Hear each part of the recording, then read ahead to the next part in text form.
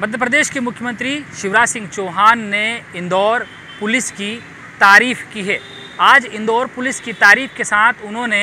यह बात सबसे अहम बताई है कि इंदौर में अब बायोमेट्रिक की मशीन सभी पुलिस वालों के हाथों में दिखाई देगी, क्योंकि बायोमेट्रिक की मशीन से अब इंदौर के ऐसे नामचीन गुंडों की धरपकड़ इंदौर पुलिस करेगी, जो खुलेआम इंदौर में घूमते हैं, खुलेआम घूमकर लोगों को परेशान करते हैं, उन पर दबाव बनाते हैं और कहीं ना कहीं यह जो ऐसे आपराधिक किस्म के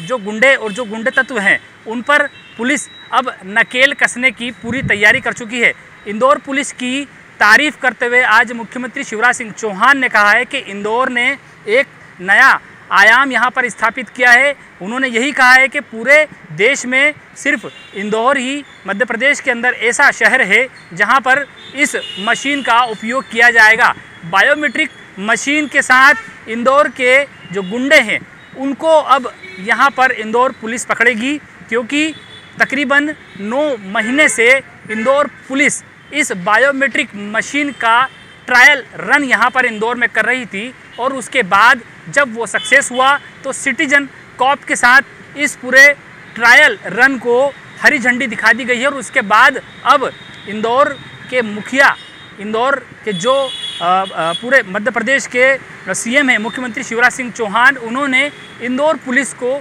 40 बायोमेट्रिक मशीन यहाँ पर इंदौर में दी है। अब इंदौर में बड़े जगहों पर बड़े बड़े स्थानों पर जहाँ पुलिस की सख्त चेकिंग होती है, सख्त कार्रवाई जहाँ पर पुलिस करती है, वहाँ पर अब ये बायोमेट्रिक मशीन जवानों के हाथ में रहेगी और उसके बाद जब आपराधिक किस्म के ऐसे लोग जो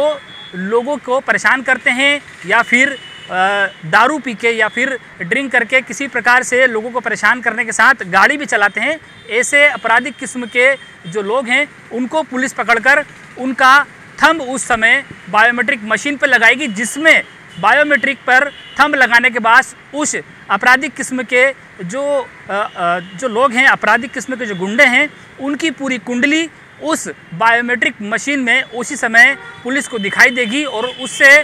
कितने अपराध उस व्यक्ति ने किए हैं, कौन से अपराध में वो फ़िलहाल फरार चल रहा है, कौन से अपराध में वो लिप्त है, उसकी सारी जानकारी उसी वक्त वहाँ पर इंदौर पुलिस को उपलब्ध हो जाएगी। इंदौर पुलिस की क्राइम ब्रांच को जो मुख्यमंत्री शिवराज सिंह चौहान ने तकरीबन 40 मशीनें दी है और इस मशीन का उपयोग अब इंदौर पुलिस करेगी और इंदौर को शाबाशी देने के बाद, इंदौर पुलिस को शाबाशी देने के साथ अब यहाँ पर इस मशीन को लेकर पूरी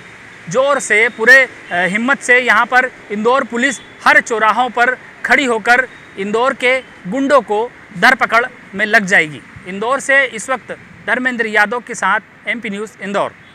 एमपी की नब्स एमपी का हाल, मध्य प्रदेश की हर खबर एमपी न्यूज़ टीवी के साथ। लगातार खबरों के लिए सब्सक्राइब करें हमारा YouTube channel MP news TV latest updates के लिए बेल आइकन दबाना जरा भी न भूलें।